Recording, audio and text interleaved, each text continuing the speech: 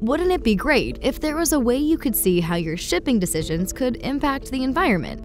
Well, now you can with FedEx Sustainability Insights.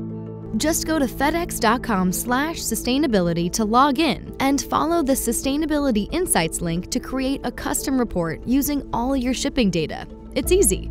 Just select the date range for shipments you want to review. Your account number, or numbers if you have more than one, will already be entered. Or you can search by a single tracking number. Click Show Advanced Parameters if you want to narrow your report by which type of service you used, or filter shipments by origin, destination, or weight. Then click View Summary. You'll get an instant emissions report with easy to read charts showing your carbon usage by shipping service and transport mode, and even breaking down emission levels all the way from initial pickup to customer delivery.